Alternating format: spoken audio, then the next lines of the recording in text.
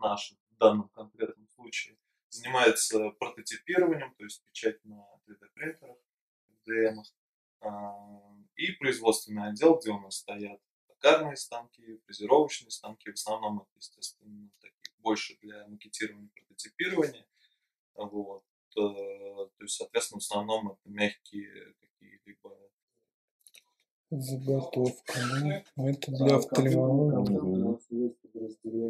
И вот на этот костыль сажают, да, по вот сути, этот вот протез. вот этот протез. Да, обеспечивается там три элемента у них. Во-первых, когда глазное яблоко теряется, процент э, мягких тканей, которые теряется значительным, поэтому происходит деформация области глазного яблока.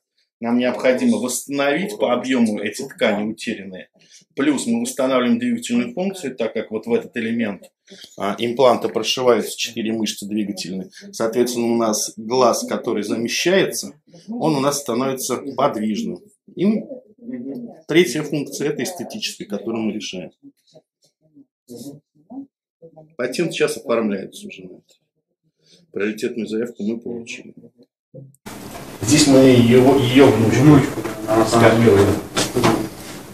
Вот. вот набор справок элементов, с которым сразу можно работать. Потому что фотография это пускасное изображение в любом случае. По фотографии мы ничего не можем сделать. Ничего А не Хорошо, можем сделать. если у вас будет фотография и модель,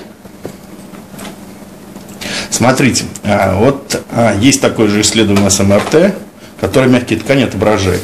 Почему вам в этой цифре не дать нам? Там есть мягкие ткани, мы работаем с образом будет ли 3D. так видно их хорошо на МРТ? Объем будет ли вот так он регистрироваться? Вопрос. Надо, надо пробовать, попробовать можно. Мы просто когда работали с МРТшкой, мягкие ткани видны.